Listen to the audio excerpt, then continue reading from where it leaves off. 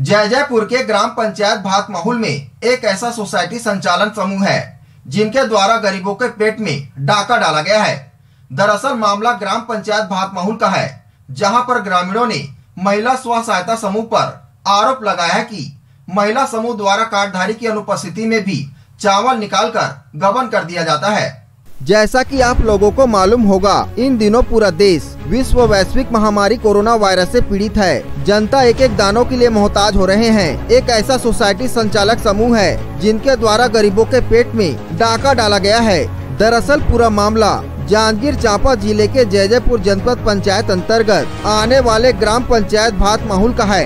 जहाँ पर ग्रामीणों ने महिला स्व सहायता के ऊपर यह आरोप लगाया है कि वहाँ पर महिला समूह द्वारा कार्डधारी की अनुपस्थिति में भी चावल निकालकर गबन कर दिया गया है। ग्रामीणों का कहना है कि उनके परिजन या घर के लोग जो बाहर कमाने के लिए या पलायन कर चुके हैं, उनका भी राशन यहाँ के संचालक द्वारा निकाल कर गबन कर लिया गया है। ग्रामीणों को यह बात तब पता चला जब भात माहौल के सरपंच द्वारा जांजगीर के वितरण सूची निकाली गई। तब उसमें उन्होंने देखा कि उनके घर के जो लोग, जो बाहर गए हैं, उनका चावल भी निकाला जा रहा है। इसके विषय में ग्रामीणों ने गाँव के सरपंच से शिकायत किया और फिर उनसे सरपंच द्वारा जिला कलेक्टर, जिला खाद्य अधिकारी, अनुविभागीय अधिकारी और जयजयपुर खाद्य अधिकारी से लिखित में अपने लेटर पैड में शिकायत किए हैं। हम आपको बता दें कि कुछ दिन पहले हुए भौतिक सत्यापन में ग्रामीण विस्तारक अधिकारी द्वारा, समूह द्वारा गबन की बात को सत्यापित किया गया है। और अनुविभागीय अधिकारी शक्ति द्वारा समूह को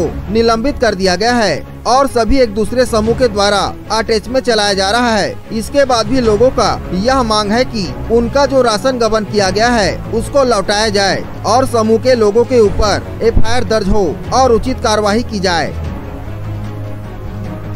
चावल नहीं मिली मोला तीन चार बार गए था। बिजाज नगर में वो मन रुक गिन था आई नहीं सकिन वो लड़का मन राजू मन। स्व सहायता समूह से आप बात ना करे ही कहीं हम्म। तो आपने कहाँ शिकायत किया इस इस संबंध कहाँ सरपंच से करें। अड्डे में करे जाको थी सहाय मन कर हाँ, वहाँ से क्या शासन मिला आपको? कहा बोलिस। कार्रवाई करो कहीं हम्म कार्रवाई करेंगे बोली हाँ करें।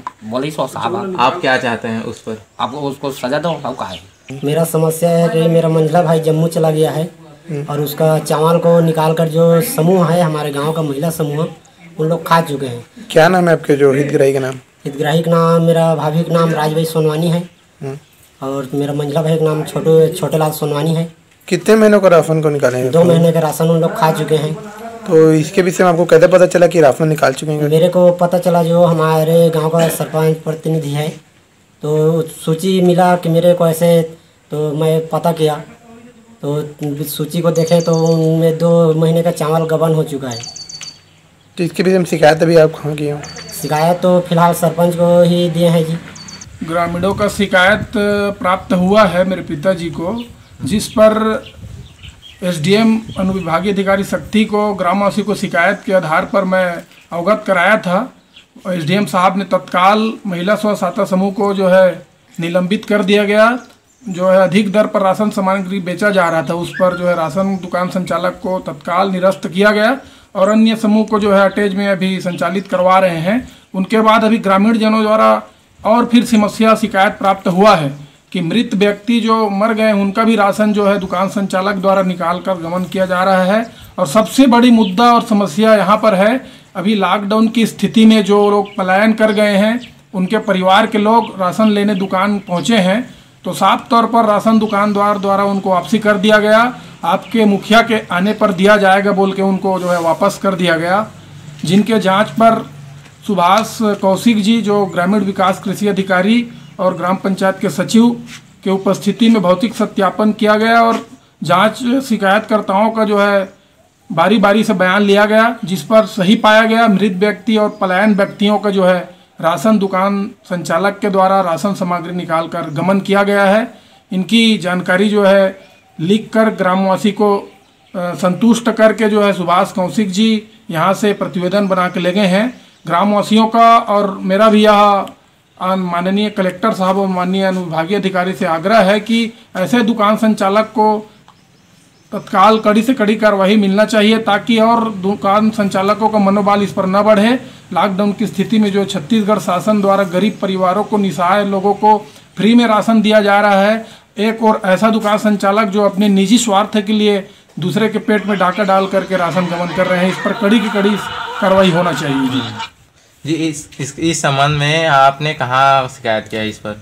अभी इस संबंध में मैं फ़ूड इंस्पेक्टर महोदय और एसडीएम साहब से जो है लिखित में शिकायत किया है और ग्रामीण विकास अधिकारी सुभाष कौशिक सबको जो है लिखित में शिकायत दिया है कि इन पर तत्काल इसकी समूह को जो है कार्रवाई करें। चार सौ बीसी का जो मामला है इस पर तक कड़ी से कड़ी कार्रवाई होना चाहिए करके आपके ग्राम में मैं यहाँ पी डी एस जाँच दल अधिकारी के बतौर में आया हुआ हूँ। इसमें क्या मिला सर जाँच में? जाँच में यह पाया गया जो डीओ के अनुसार है ना? जो। चावल की मानक मात्रा थी उससे जो है बयालीस दशमलव तिरालीस कुंटल कम पाया गया। जी। जिसको मैंने भौतिक सत्यापन मौके पर जाकर किया है पचास कट्टी और कुंटल की मात्रा में कम पाया गया जो कि विचारणीय है और सोचने योग्य बातें हैं। है ना जिस पर सीधा सीधा संचालक पर उंगली उठता है। माल खरौदा से देवेंद्र रात्रे की report A C N twenty 24